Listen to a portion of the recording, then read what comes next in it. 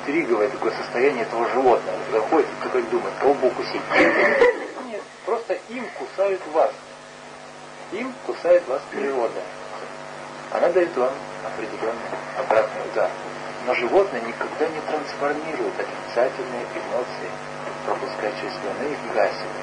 А человек их трансформирует.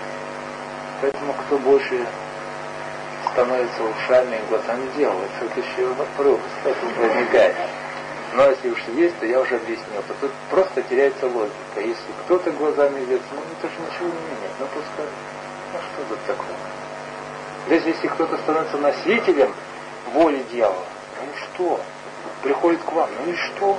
Встречаете его как любого другого собрата. Вы никого не имеете права на. Поэтому кому бы какую категорию не определили, пришел к вам, ну, примите.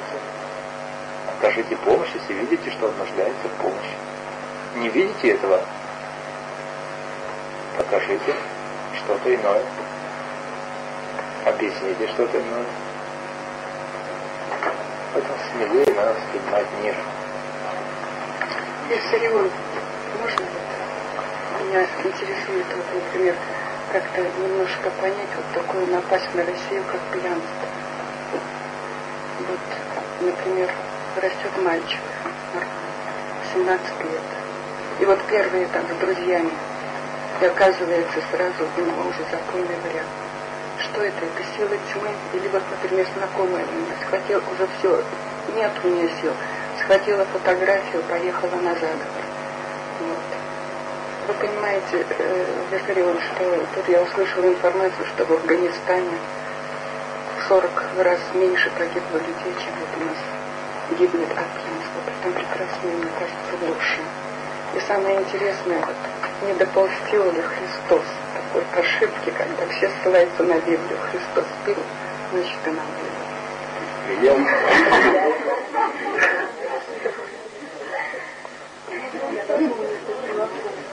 Вот мальчик рос нормально, что это? Как это? И вдруг сразу запойный прям на два, на три дня там.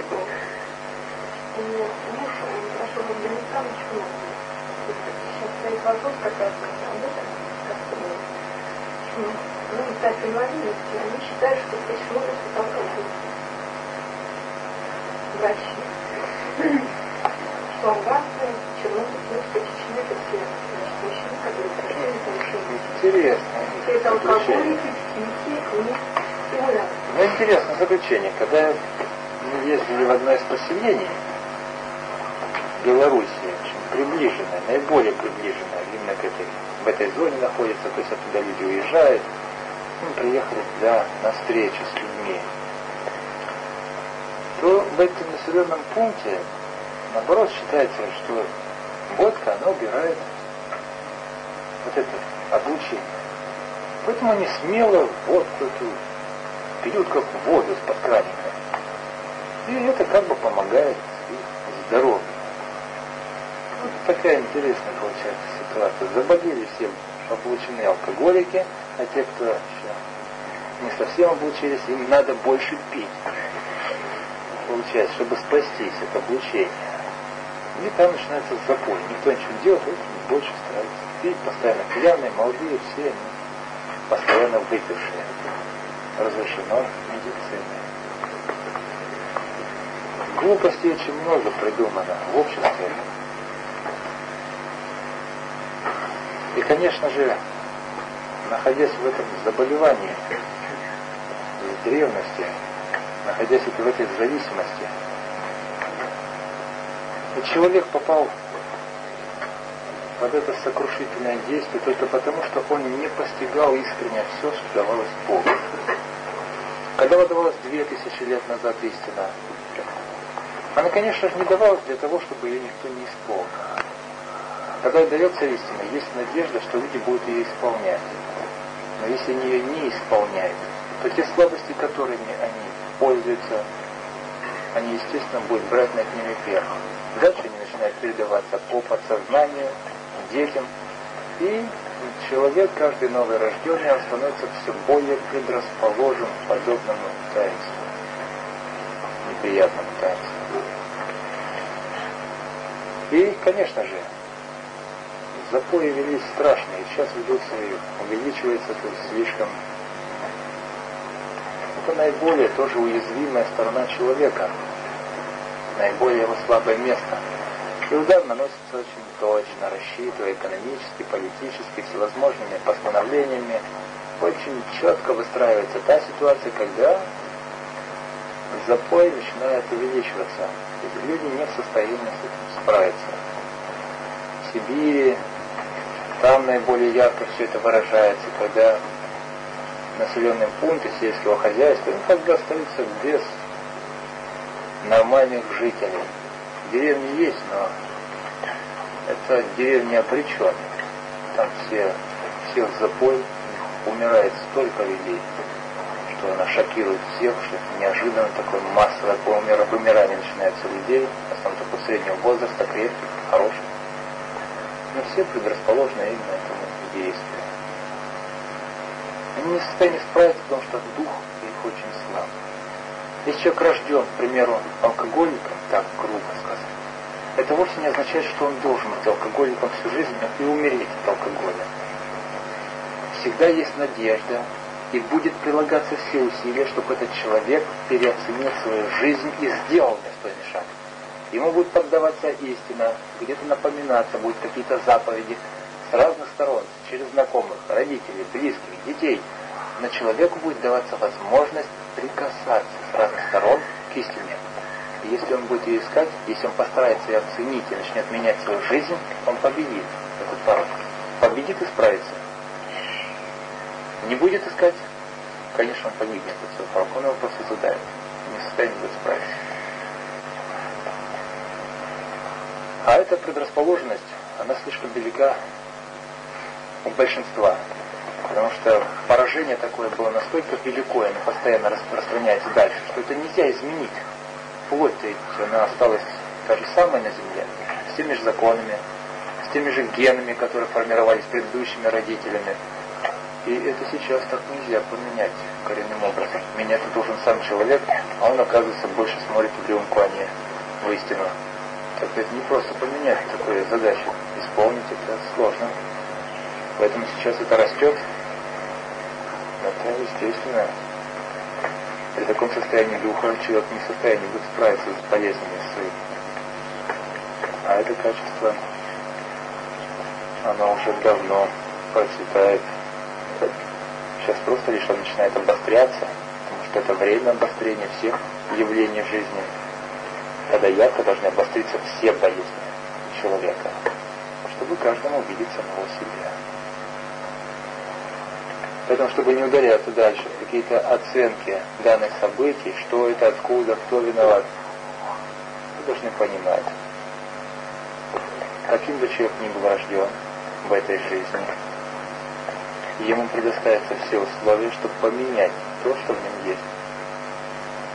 Если это кто-то из ваших ближних, так вы и есть те, кто уже призван частично помочь ему прикоснуться к истине. И вы сделаете этот шаг.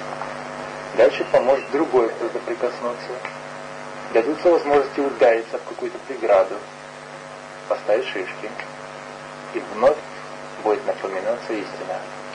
Не может сейчас, будет сохраняться надежда до последнего дыхания его жизни, будет сохраняться надежда, что он переосмыслит свою жизнь и попытается самостоятельно сделать пусть маленький, но самостоятельный шаг. Это будет великая радость. Начнется его спасение. И это не будет поздно. Никогда не будет поздно сделать шаг к свету. Никогда. Даже при последнем дыхании этой жизни в этом теле. Так что остается только надеяться, помогать, насколько хватает ваших сил, молиться, подсказывать. И дальше, конечно же, все останется за самим человеком, за его стараниями. Меня родители все воспринимают очень он в России от меня всячески спасают с помощью солдата и жалуются. Вот у меня два вопроса. Сумеет, успеет судить и очиститься. И второе, нужно мне продолжать пытаться как-то вот объяснить новую Пытаться можешь объяснять, стараться делать это ненавязчиво. Меня даже не слышно. тогда не настаивай.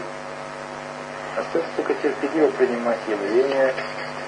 Ибо если неправильно построить взаимоотношения, то очень часто можно создать дополнительную тяжесть и увеличить преграду, которая без того вылетала человека. Неверным взаимоотношениям можно создавать вот эти ложные иллюзии, о которых я говорил. Для человека потребуется дополнительное усилие уже бороться с этими иллюзиями, собственными черными мыслями, которые внутри возникают. И он тратит туда очень много сил бороться с ними. И реальная преграда, она тем более становится непосильной. Тогда в целом начинается быстрое падение всех, цепляют друг друга, тем более цепляют детей естественно. Начинается массовое падение. Поэтому здесь надо научиться, конечно же, как можно гибче построить какие-то взаимоотношения. Уметь стоять на своем. Но дальше надо смотреть по ситуации. Ну что ж, если по-другому ты не можешь использовать эту ситуацию, тебе придется терпеть, надеяться и помогать. Значит, помогай так, как ты видишь возможным. И не надо в этом случае забывать, Эту ситуацию, которая возникает сейчас у вас, как правило, это было видно с самого вашего рождения. И если дети попадают ваши в эту ситуацию, попадают те дети, попадают те ваши братья, которым нужно будет эта ситуация, которые должны будут пройти через эту ситуацию, чтобы в дальнейшем сделать достойную оценку и достойный шаг. То есть это не просто какая-то случайность здесь все точно подгоняется под данную ситуацию. Дальше идет спрос с каждого из вас за ваши собственные шаги. Поэтому вы должны сделать посильнее вам шаг, и чтобы этот шаг соответствовал истине, которую вы понимаете и принимаете в свое сердце. Терпеливо принимая все остальное, чего не способны изменить.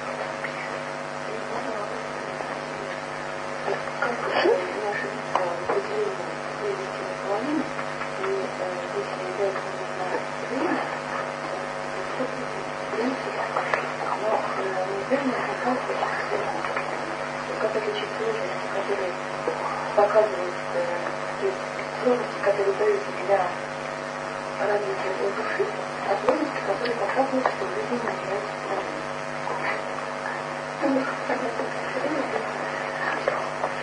Знаешь, всему этому в помощь хорошо идет время. Когда что-то непонятно, не торопись делать шаг. Если пары предначертаны, все настолько расстоится, что все на все плюнут, то все равно они составят семью. Они ринутся друг на друга, друг другу, несмотря на преграды, какие-то сложности, потому что они любят друг друга, они не смогут друг для друга. Если непонятно что-то, не торопись сделать шаг навстречу. Дай времени еще ярче все поставить на место. Не торопись. Когда совершается это таинство, знаешь, оно совершается таким образом, когда оно не допускает вообще других толкований. Может быть не так, может быть я ошибаюсь. Таких понятий в голову не приходит. Потому что человек становится слеп от любви, от жажды исполнить данный шаг. Он жаждет этой гармонии, жаждет этого счастья, радости. Он ничего в этот момент не видит. Поэтому, когда правильно развивается общество, семьи должны составляться в более раннем возрасте. Общество настолько сложно сейчас развивается, что вы часто находите семью гораздо позже. Но ваши головы уже такие сложные. Вы уже такого насмотрелись в жизни. Начинаете подозрением присматриваться, взвешивать. Какие-то подходы начинаете строить сложные. И она еще больше трудностей создает. Упростите. Всему свое время. Если действительно у вас есть любовь между собой, никуда вы не денетесь друг от друга. Если даже куда-то он рванется, прибежит обратно. Не сможет он по-другому жить. Он будет, он придет пешком и пойдет на колени скажет, все, твое сердце, мое сердце, мое твое. Все будет просто. Поэтому не надо торопиться. И не ошибешься. А вот поторопиться, как правило, ошибаться все будут. и на что и попадается. Когда человек не знает, что такое любовь, начинает рассуждать, что это такое, и каждое приятное ощущение он выдает за любовь. А сейчас это очень часто случается. Вы не знаете, что такое дружба между собой. Вы часто просто дружеские отношения выдаете за любовь. А дружба что это такое? Что такое друг? Это не зависит, мужчина или женщина. Это когда женщина может прийти к другу, положить голову на плечо, поделиться горем. Это не значит, что это жених. Просто положить голову на плечо, поделиться горем, опереться, послушать поддержку. Но этого почти нет. Как только это возникает, у вас сразу мысль, наверное, мы предрасположены, мы пара, мы не можем жить без друга. Друг без друга, и у вас, наверное, это любовь. И вот так, наверное, наверное, вы составляете пару. А потом каждый из них находит свою половину в течение жизни. Начинает влюбляться и говорит, как же так? Он уже не может справиться с любовью, настоящей любовью, которая у него есть. И вроде бы семья есть, он не знает, как просто не хочет бросать. Он знает, что будет больно ближнему, и сам мучится, не может справиться. Ну, такие начинают возникать трудности. Конечно, верующий справится с этим. Но верующий в хорошем понимании, в истинном понимании, а вы стараетесь понять веру. Сил, как правило, еще внутри очень мало, поэтому это становится бессильным. Ну так вот, чтобы помочь, самый верный совет, не торопи.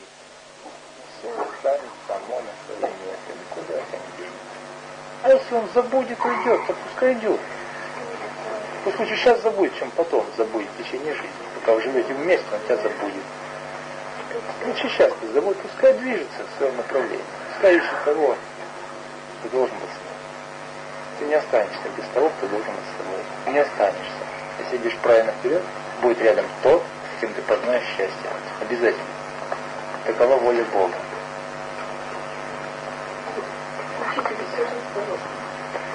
Настало такое время, когда добровольные силы как Богу, так и дьяволу идет борьба за души. Вот как уберечь действительно в это время от душ греха, соблазна. Ну вы даете. А теперь давайте, давайте по-другому посмотрим вопрос. А кто дал эти силы равные? Даны силы Богу и дьяволу. А кто дал эти силы тогда, получается? Кто определил, вышел и дал? Вот даем Богу силы, вот так и равные, вот дьяволу. Возьми начинаем биться. Но как глупости сказать. Равной Богу силы нет ничего. Вообще в мироздании нет ничего равного. Если вы немножко сумеете хотя бы чуть-чуть опереться на силу Бога, то потребуется огромное скопление тьмы, чтобы победить эту маленькую вашу привязанность к силе Бога. То есть на единицу силы Бога потребуется тысячу единиц сил тьмы чтобы это разрушить. Это достаточно неравные взаимоотношения. Поэтому вы, не имея даже нормальной связи с отцом своим, будучи неверующими, вы еще в состоянии любить. Сохраняете хоть, ну, пусть дико, но все-таки вы еще способны делать какое-то добро, любить. То есть вы не полностью еще рабы тьмы. Хотя и вроде бы неверующие. Так вот, хотя бы вот эта маленькая сила на вас есть внутри, она уже позволяет вам выдерживать огромной нагрузки ударов со стороны. Но если вы начинаете верующим быть, непреодолимых преград не бывает. Поэтому вы должны веру идти вперед. И чем сильнее становитесь вы, тем сильнее способны стать дети от одного вашего вида изменения. И когда ребенок становится в состоянии оценивать самостоятельно действия, уже помогаете ему познавать волю Бога. Учите его насколько вы в состоянии это передать ему. Учите познавать его Бога. Как умеете, так и учите. Дальше все станет от его собственных усилий. Он будет решать свою судьбу. Так что не надо даваться эти такие смешные определения. Боритесь. Там дано невероятно много. Сила Бога это есть сила достижения любви, которую, пожалуйста, любовь к человеке это такая сероватый оттенок той любви, которая есть Отец. Просто вы своим внешним проявлением немножко огрубляете это таинство. Оно настолько чудное, прекрасное. Если говорить о Боге и вашей связи с Ним, вам не дается возможность осознать Его своими чувствами, прикоснуться к Нему полнее, потому что это убьет вас.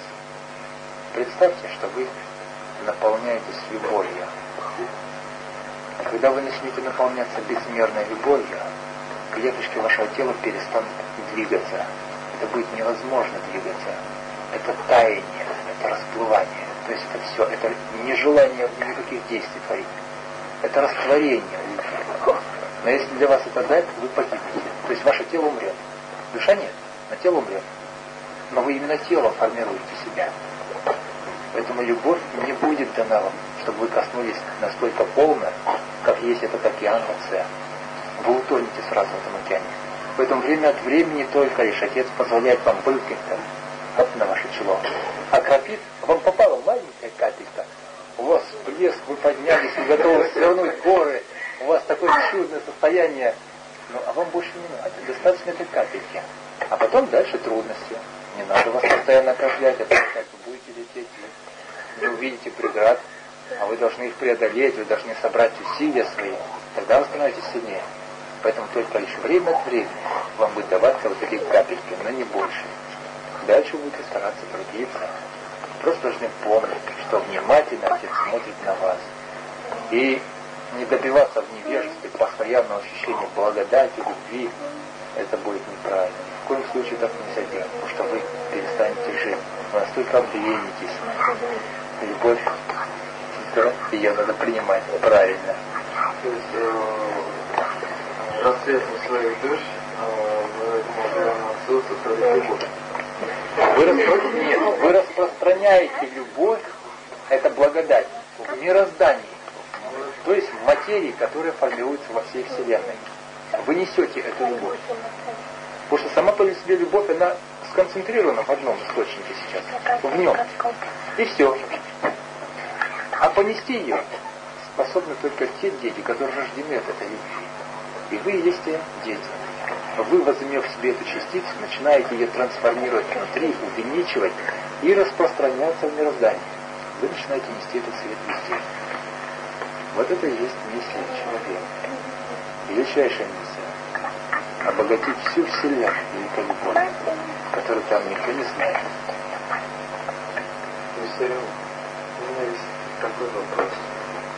Э, Сознание, ну, может быть, в моем сознании, в сознании других, сейчас Божий, время от времени возникают невольные какие-то мысли,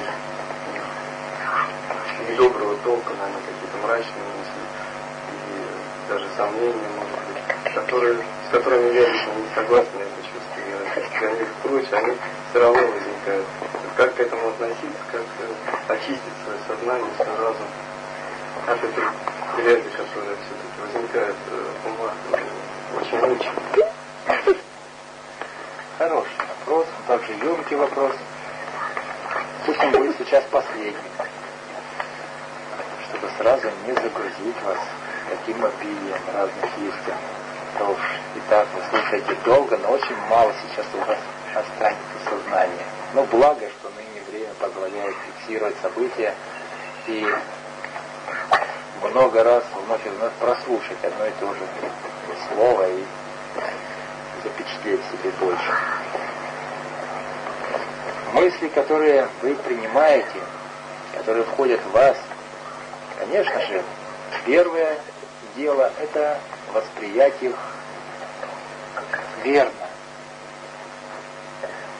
Для начала можно обратиться к тем словам, которые также запечатлены в Писании. Входящее в вас, в вас не засоряет. Ваш ссор – это то, что из вас выходит. Значит, мысль посторонняя, отрицательная, которая входит в вас, она совершенно вас не засоряет, сколько бы их у вас не входило. Но как только вы реагировать начинаете на эту мысль, вот эта ваша реакция начинает от вас источаться. Вот это уже есть ваше. Если вы отрицательно реагируете на эти мысли, то ваша отрицательная реакция начинает источаться из вас. Это и есть ошибка. Если вы стараетесь легко, с улыбкой, с радостью воспринимать эти явления, пытаясь их осветить цветом своей души, это то, что из вас исходит, это есть ваш свет, ваши плоды, ваши пшеница, которую вы сеете вокруг, и дает удивительные сладкие всходы, жизненные всходы. Это и есть самое главное уже будет ваше действие. Значит, нужна ваша реакция правильно на эти явления. Каким бы ни были плохие мысли, поищите в них противоположную сторону. Найдите в них что-то совершенно иного. Найдите благодатное. И уже начинайте думать об этом благодатном. Иначе, чем дольше вы останавливаете свой взор на отрицательном явлении, тем больше это отрицательное явление начинает завладевать вами. Простая формула, которая совершается часто в жизни, в быту. Когда вы видите горестного человека, вы начинаете на него больше смотреть, думать о нем, вы становитесь в таком же горестном состоянии. И наоборот, попадает человек смеющийся, он весел, начинаете за ним наблюдать, и не замечаете, как сами начинаете улыбаться все больше, больше, и можете заразиться его смехом. Вы просто лишь на нем сконцентрировались.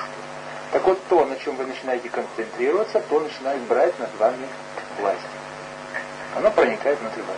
Значит, чем больше вы думаете о плохом, плохими мыслями, тем больше это плохое начинает в вас увеличиваться, брать над вами вверх, начинает брать вас под контроль, и у вас заполняется все отрицательными реакциями.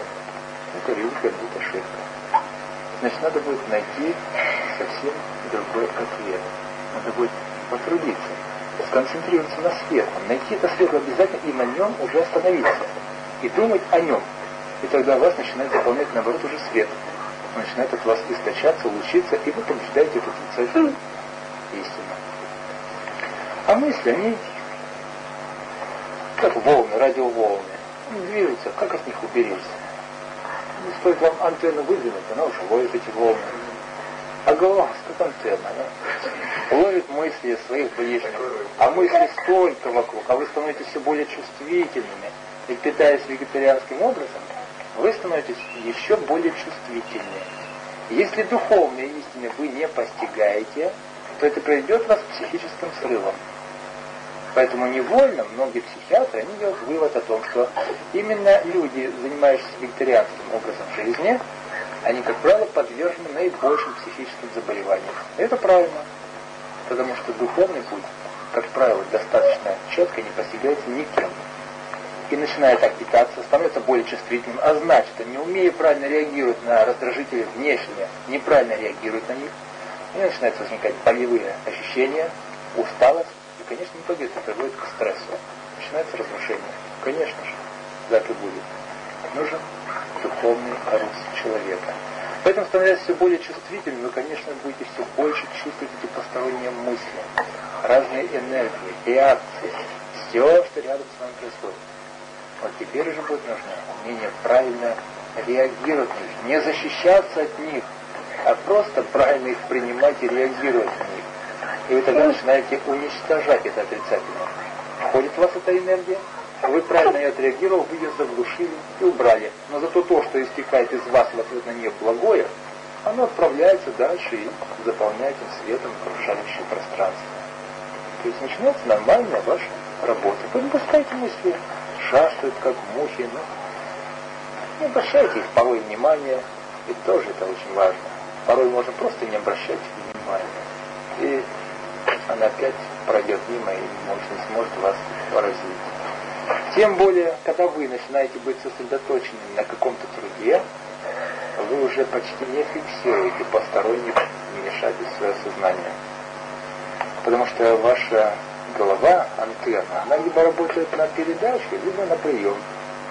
Когда вы начинаете задумываться над чем-то, рассуждать, вы принимаете когда вы начинаете целенаправленно действовать, творить головой, рассуждая, вот именно пытаясь что-то исполнить, вы концентрируетесь на действии на определенном, у вас ничего проникнуть уже не может.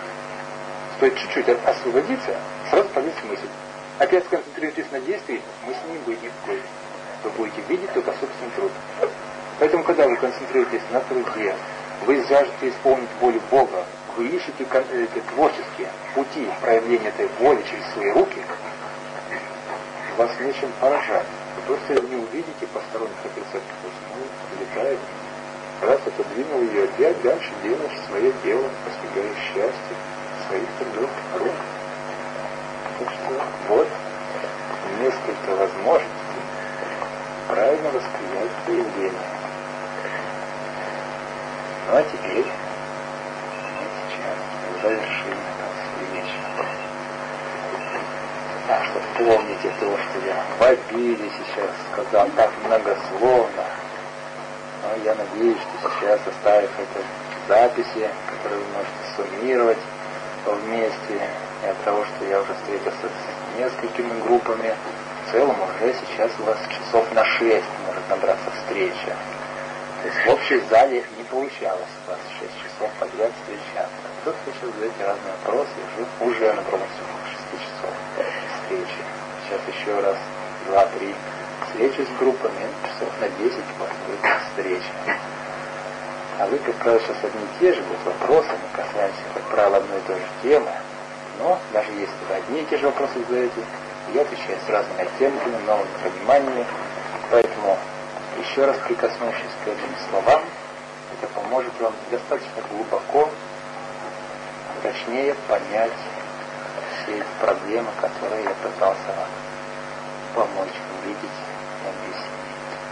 Но дальше я надеюсь, что вы поступите искренне, согласно пониманию вашему, которое у вас возникло, приложите все усилия.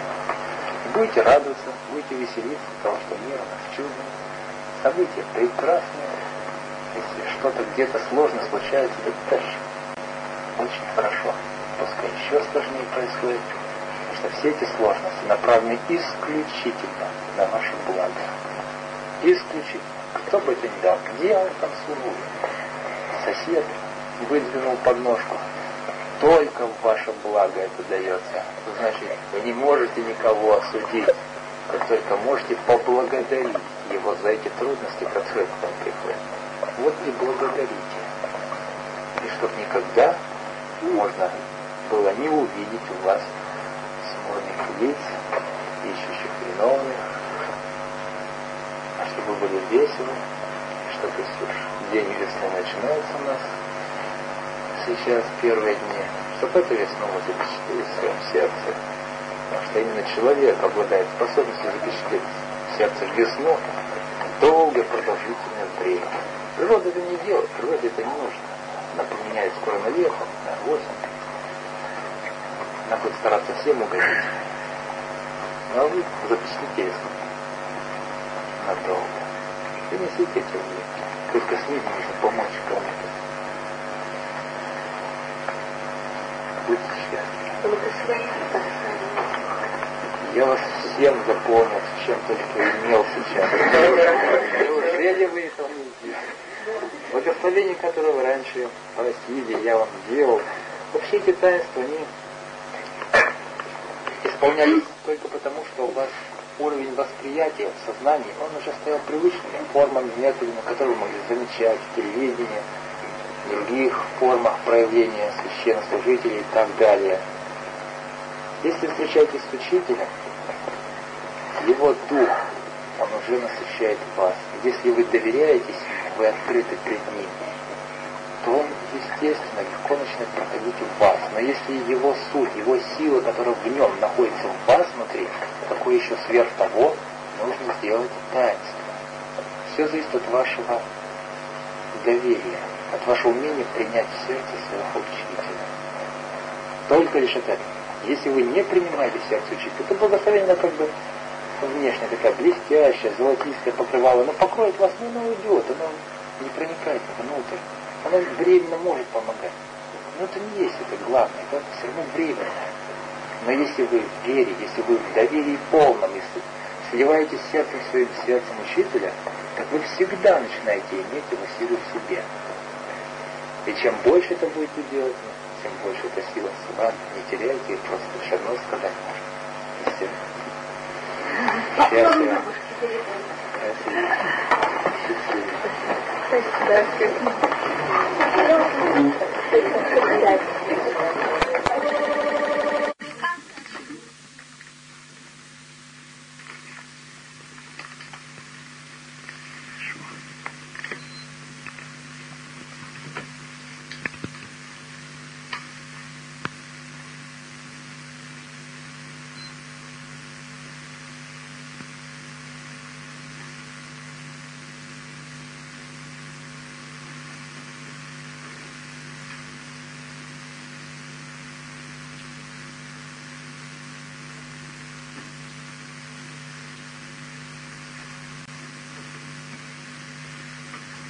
сейчас встречу мы можем сразу начинать с того, чтобы вы начали задавать те важные вопросы, которые к этому часу у вас возникают вашей сложной, интересной, веселой жизни. Я начинаю отвечать на ваши вопросы. Я трону, как всегда, не только тему самого вопроса, но и которые часто становятся дополнительными причинами возникающему у вас вопросу.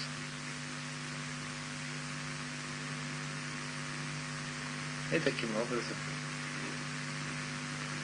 все необходимое за эту встречу мы, конечно успеем коснуться. Я слушаю вас.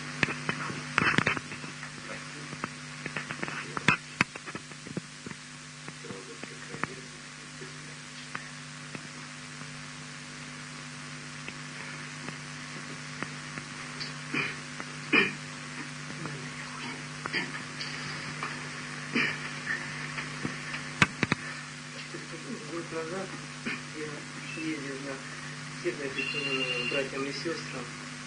И когда уезжал, то была очень большая боль, потому что меня провожали с большой горечью, такой болью и страхом родители и ну, супруга, с которой я развелся к этому времени, и двое детей, две дочери, старшая дочь.